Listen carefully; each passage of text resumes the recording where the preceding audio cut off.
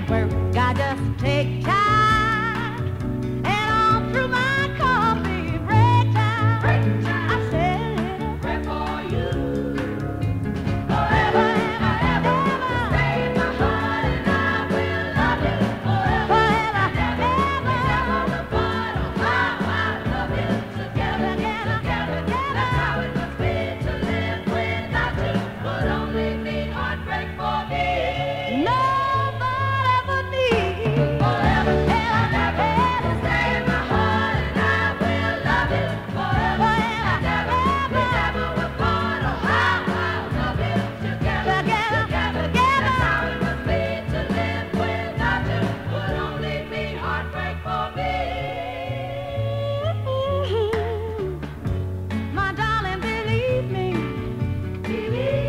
for me.